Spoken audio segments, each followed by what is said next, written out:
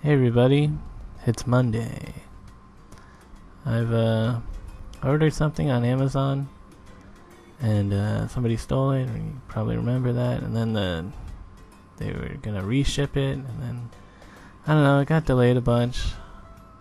So now I'm kind of just hanging out, being like, is this ever gonna show up?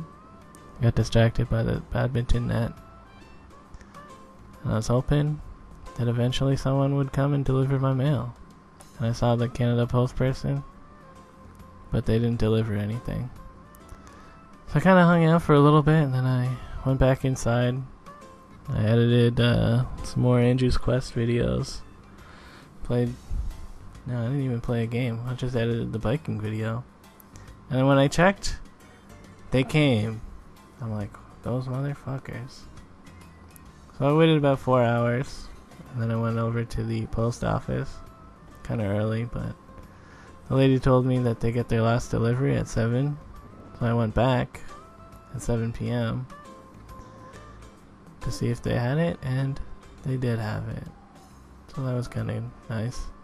I didn't have to wait until tomorrow.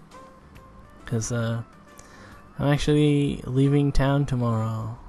Or no. Once. What? I was thinking that I was going to leave town tomorrow, but Actually, I'm not leaving until Wednesday. So it would have worked out either way. Anyways, this is Tuesday now.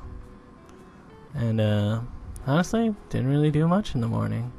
Now I'm just walking around, uh, the annex. And I met up with, uh, you know, the gang, I guess. We're gonna go to Eva's Original Chimney Ice Cream. This is very delicious right here.